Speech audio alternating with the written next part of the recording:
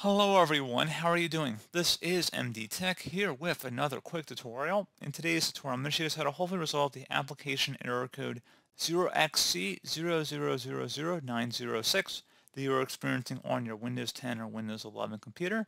And it says that the application was unable to start correctly, and then in parentheses it says 0xC0000906. Click OK to close the application. So this should hopefully be a pretty straightforward process here, guys. And without further ado, let's go ahead and jump into it. So a couple different things. You may want to try reinstalling the software. So if you had a bad installer or a corrupt one, perhaps, you want to go ahead and re-download it and then attempt to run it with administrative permissions. Right-click on it and then run as administrator and then see if that resolves the problem.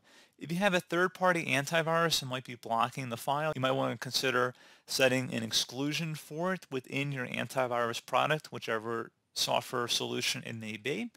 And then something else we can try as well would be to open up the search menu and type in CMD. Best match should come back with command prompt. Go ahead and right click on that and select run as administrator. If you receive a user account control prompt, go ahead and select yes. And now I will have two commands in the description of my video, guys. First one is the system file checker utility scan. So go ahead and copy that and then go up the top bar of the command prompt window here. Right click on it, select edit and then paste it in. Hit enter to begin the system scan. This will take some time to run, so please be patient.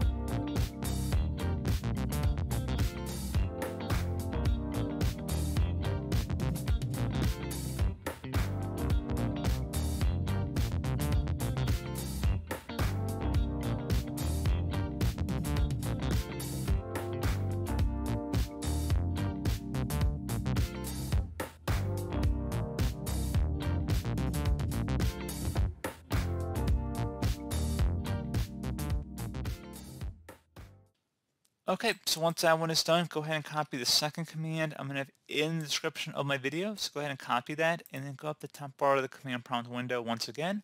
Right click on it, select edit, and then paste it in. Hit enter to begin the system scan. This will take a couple minutes to run as well, so please be patient.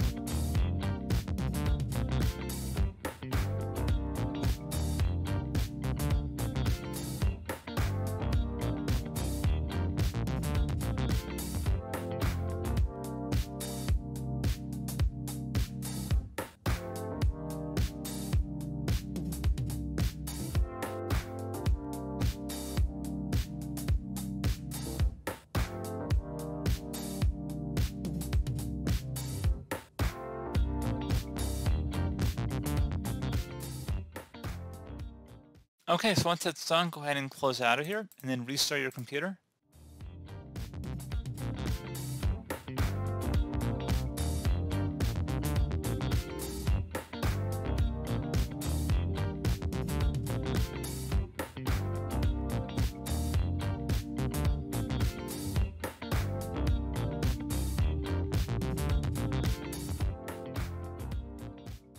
There you go guys. Hopefully that was able to resolve your problem. And as always, thank you for watching. Do hope I was able to help you out. And I do look forward to catching you all in the next tutorial.